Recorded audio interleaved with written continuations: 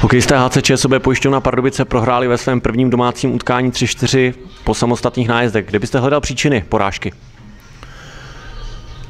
Tak eh, v každém případě v tom, že jsme nepodali takový výkon, jaký jsme si představovali a v prvních dvou třetinách utkání nám chyběl pohyb, chyběla nám včasná přihrávka, chyběl nám důraz v osobních soubojích, eh, chyběl nám důraz eh, do branky soupeře a to si myslím, že byly takové základní parametry našeho neúspěšného výkonu.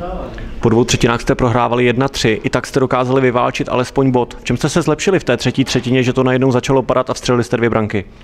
Tak především jsme jednodušili přechod přes střední pásmu, dostávali jsme se jednoduše do třetiny, začali jsme trošku více střílet a měli jsme zlepšený důraz do branky soupeře.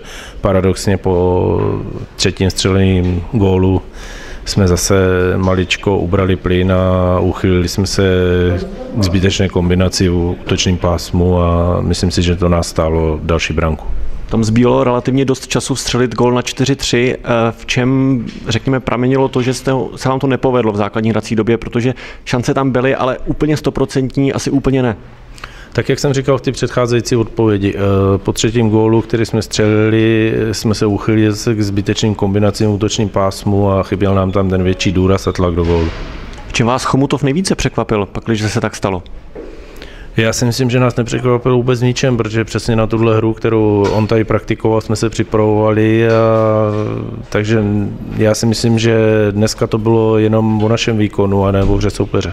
Říkal jste, že je potřeba zvýšit důraz do branky. Jak to jde natrénovat? Protože přece jenom v tréninku asi úplně všechny zápasové simulace nejdou praktikovat. Tak trénovat to jde jednoduchou kombinací dva na jedno, bez, bez, bez nějaký mnoha přihrávek, je střela, dobruslení, dorážení, eh, průpravnýma cvičeníma, dá se to natrénovat. Jaký bude plán a režim mužstva do pátečního utkání v Plzni?